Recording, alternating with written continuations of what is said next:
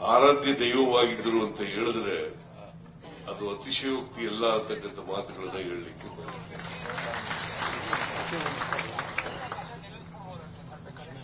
ನನಗೆ ಒಂದು ನಿದರ್ಶನ ನಿಮಗೆ ಹೇಳಲಿಕ್ಕೆ ಬಯಸ್ತೀನಿ. ನಾನು ಆಗ ಜನತಾ ಪಾರ್ಟಿನಲ್ಲಿದ್ದೆ ನೈನ್- ಸಾವಿರದ ಒಂಬೈನೂರ ಎಪ್ಪತ್ತೆಂಟನೇ ಇಸ್ವಿನಲ್ಲಿ. ಅಸೆಂಬ್ಲಿ ಚುನಾವಣೆ. ನಾನು ಹಾರೋಹಳ್ಳಿ ಅಂತೇಳಿ ಮೈಸೂರು ತಾಲೂಕಿನಲ್ಲಿ ಒಂದು ಹಳ್ಳಿಗೆ ಓಟ್ ಕೇಳಲಿಕ್ಕೆ ಹೋಗಿದ್ದೆ. ನಾನು ರಾಜಶೇಖರ ಮೂರ್ತಿಯವರು ರಾಜಶೇಖರ ಮೂರ್ತಿಯವರು ಜನತಾ ಪಾರ್ಟಿ ಅಧ್ಯಕ್ಷರು, ನಾನು ಜನತಾ ಪಾರ್ಟಿ ಅಧ್ಯಕ್ಷ. ಐ ಮೀನ್ ರಾಜಶೇಖರ ಮೂರ್ತಿಯವರು ಕ್ಯಾಂಡಿಡೇಟ್, ನಾನು ಜನತಾ ಪಾರ್ಟಿ ಅಧ್ಯಕ್ಷ. ಅಲ್ಲಿ ರಾಜಶೇಖರ ಮೂರ್ತಿಯವರು ಆ ಊರಿನ ಯಜಮಾನರುಗಳೆಲ್ಲ ಸೇರಿಸ್ಕೊಂಡು ಮಾತಾಡ್ತಾ ಇದ್ರು. ನಾನು ಅವ್ರು ಮಾತಾಡ್ಲಿ ಅಂತೇಳಿ ಹಳ್ಳಿ ಮನೆ ಮನೆಗಳಿಗೆ ಹೋಗಿ ವಿಚಾರಿಸ್ತಾ ಇದ್ದೆ. ಅವ್ರ ಮನೆಯಲ್ಲಿ ಇಂದಿರಾ ಗಾಂಧಿಯವರು ಫೋಟೋ ಇರ್ತಿತ್ತು. ನಾನು ಕೇಳಿದೆ, ಏನಪ್ಪ ನಿಮ್ಮ ಯಜಮಾನಗಳೆಲ್ಲ ಅಲ್ಲಿ ರಾಜಶೇಖರ ಮೂರ್ತಿ ಅವರಿಗೆ ಓಟ್ ಕೊಡ್ತೀವಿ ಅಂತ ಹೇಳ್ತಾ ಇದ್ದಾರೆ. ನೀವು ನೋಡಿದ್ರೆ ಇಂದಿರಾ ಗಾಂಧಿ ಅವ್ರ ಫೋಟೋ ಹಾಕೊಂಡಿದ್ದೀರಿ. ಅವ್ರು ಏನಾರ ಹೇಳ್ಕೊಳ್ಳಿ ಸ್ವಾಮಿ, ನಾವಂತೂ ಇಂದಿರಾ ಗಾಂಧಿ ಅವರಿಗೆ ಓಟ್ ಹಾಕೋದು ಇವತ್ತು ಇಂದಿರಾ ಗಾಂಧಿ ಅವರು ನಮಗೆಲ್ಲ ಜೀವನ ಕೊಟ್ಟಿದ್ದಾರೆ. ಹಾಗಾಗಿ ನಾವು ಇಂದಿರಾ ಗಾಂಧಿಗೆ ಓಟ್ ಹಾಕೋದು. ಅಲ್ಲಿ ಹೋಗಿರ್ತಕ್ಕಂಥ ಯಜಮಾನರುಗಳು ಇಂದಿರಾ ಗಾಂಧಿಗೆ ಓಟ್ ಹಾಕೋದು. ನಾನು ರಾಜಶೇಖರ ಮೂರ್ತಿ ಅವರಿಗೆ ಹೇಳಿದೆ. ರಾಜಶೇಖರ ಮೂರ್ತಿ ಅವರಿಗೆ ಒಂದು ಓಟು ಬರಲ್ಲ. ಸುಮ್ಮನೆ ಯಾಕೆ ಕೂತ್ಕೊಂಡು ದುಡ್ಡು ಕಳ್ಕೊತೀವಿ ನಡ್ರಿ ಅಂತ ಹೇಳಿ ಕರ್ಕೊಂಡು ಅಷ್ಟರ ಮಟ್ಟಿಗೆ ಬಡವರಲ್ಲಿ ಅವರು ನೆಲೆ ಕೂರಿದ್ರು. ಬಡವರು ಅವರನ್ನ ಆರಾಧ್ಯ ದೈವ ಅಂತೇಳಿ ಪೂಜಿಸ್ತಕ್ಕಂಥ ಕೆಲಸ ನಡೀತಾ ಇತ್ತು.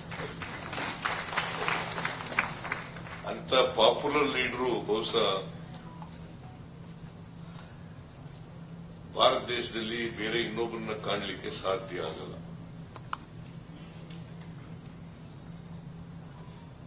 ಸೊ ಅವರ ಪುಣ್ಯತಿಥಿ ಇವತ್ತು. ಅವರು ಬಹುಶಃ ಮೂರು ಘಟನೆಗಳನ್ನ ಮರೀಲಿಕ್ಕೆ ಸಾಧ್ಯ ಆಗಲ್ಲ ಸ್ವತಂತ್ರ ಭಾರತದಲ್ಲಿ. ಒಂದು ಮಹಾತ್ಮ ಗಾಂಧೀಜಿಯವರ ಹತ್ಯೆ.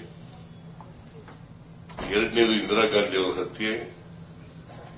ಮೂರನೇದು ರಾಜೀವ್ ಗಾಂಧಿಯವರ ಹತ್ಯೆ. ಈ ಮೂರು ಘಟನೆಗಳಿದಾವಲ್ಲ ಇವು ದೇಶಕ್ಕೋಸ್ಕರ ತಮ್ಮ ಪ್ರಾಣವನ್ನ ಅರ್ಪಣೆ ಮಾಡಬೇಕು ದುಷ್ಕರ್ಮಿಗಳು ಕುಂದಾಗಿರಬಹುದು ಆದರೆ ಇವರು ಪ್ರಾಣ ಕಳ್ಕೊಂಡಿರ್ತಕ್ಕಂಥದ್ದು ಬಲಿದಾನ ಆದದ್ದು ದೇಶಕ್ಕೋಸ್ಕರ ಅಂತಕ್ಕಂಥದ್ದನ್ನು ಮರೀಲಿಕ್ಕೆ ಸಾಧ್ಯ. ಇವ್ರನ್ನ ಉಕ್ಕಿಳ ಮಹಿಳೆ ಅಂತ ಕೂಡ ಕರಿತೀವಿ. ವಾಜಪೇಯಿ ಅವರು ಒಂದ್ಸಾರಿ ನೈನ್ಟೀನ್ ಸೆವೆಂಟಿ ಒನ್ನಲ್ಲಿ ಬಾಂಗ್ಲಾದೇಶ ಲಿಬರೇಟ್ ಆದ್ಮೇಲೆ, ಆಗ ಅವರು ಪಾರ್ಲಿಮೆಂಟ್ನಲ್ಲಿ ವಿರೋಧ ಪಕ್ಷದಲ್ಲಿದ್ದರು.